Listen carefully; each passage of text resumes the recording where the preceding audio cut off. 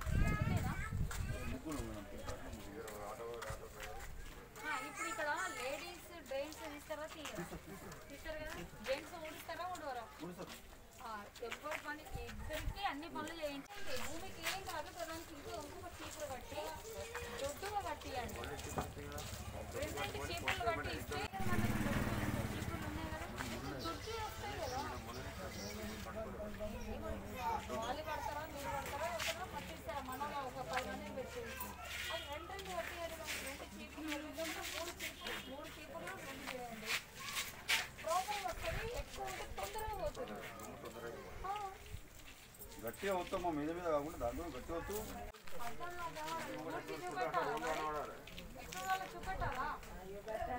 లేదు తప్పేం కాదు. మా ఇంట్లో నేను కూడా ఉంచుకుంటా కదా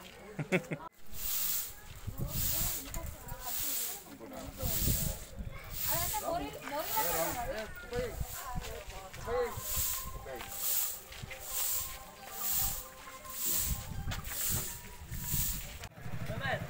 ఈ నీళ్ళు కదా, ఈ నీళ్ళు.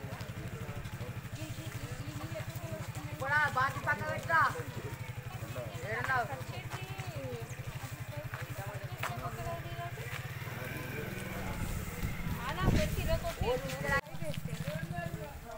నీళ్ళు ఇక్కడ కొట్టేసి ఈ నీళ్ళు వెనకాల నీళ్ళు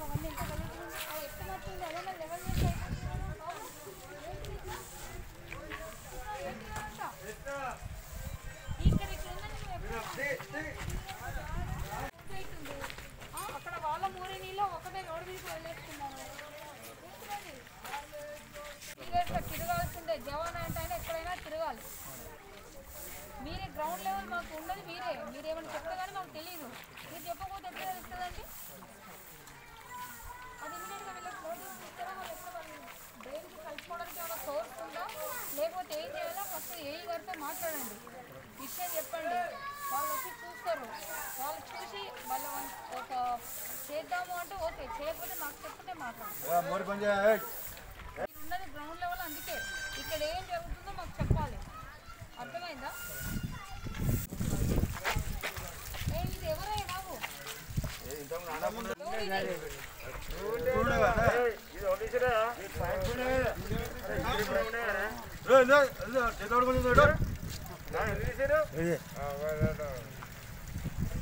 ఏం పనిలేదా మీకు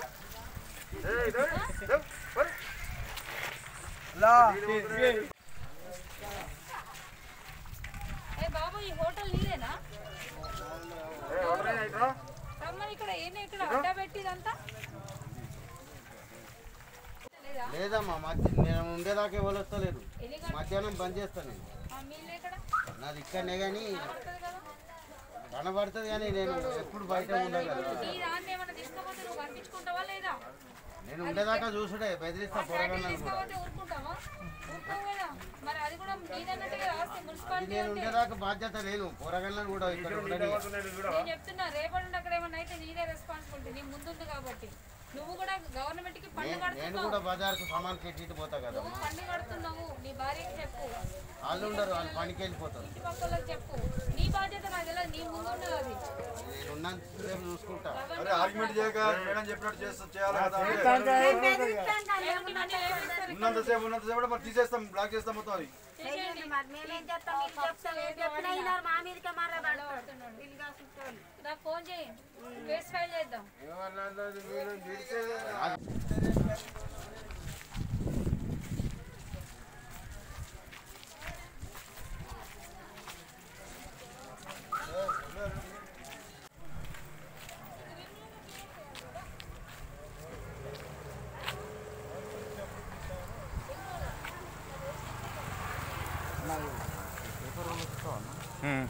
పంపిస్తాను.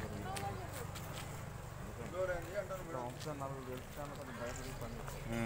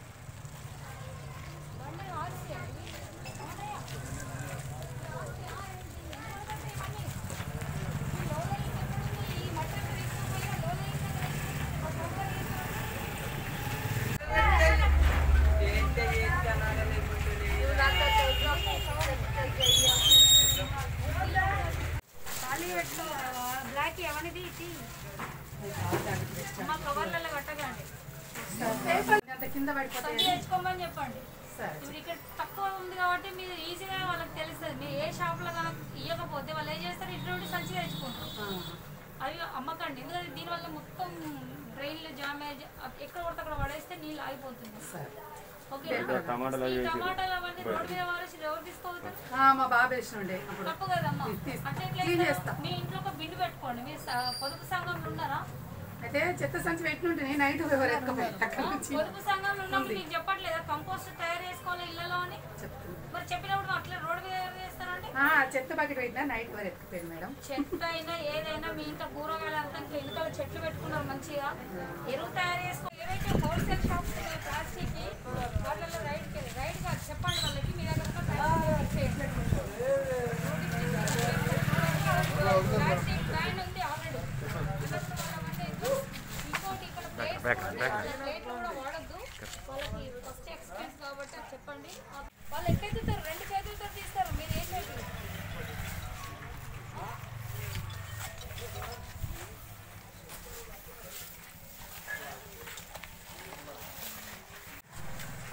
ఆ, ముందుగా జగిత్యాల పట్టణ ప్రజలందరికీ నమస్కారం అండి. నేను మూడు రోజుల క్రితం ఇక్కడ కమిషనర్గా జాయిన్ అవ్వడం జరిగింది.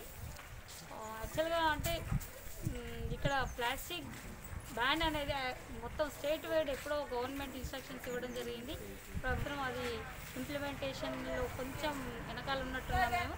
ఖచ్చితంగా మేము ఇది క్లియర్ చేస్తాము. దయచేసి ప్రజలు మాకు సహకరించాలండి. ఇంకొకటి నేను చూసింది ఏంటంటే సోర్స్ సెగ్రిగేషన్ అనేది రావట్లేదండి ఇక్కడ. దయచేసి ఇక్కడ అందరూ అందరి పట్టణ ప్రజలకి మహిళలకి అందరికీ నేను చెప్పేది ఏంటంటే మీ ఇంటి నుండే కనుక మీరు సోర్స్ సెగ్రిగేషన్ కనుక చేస్తే మున్సిపల్ లేబర్కి ఈజీ అవుతుంది. మొత్తం మిక్స్డ్గా తీసుకొచ్చేటప్పటికి లెగసీ అంటే డంపింగ్ యార్డ్లలో లెగసీ అయ్యి తగలబెట్టడంతో నిన్న కూడా ఒక ఇన్సిడెంట్ జరిగింది.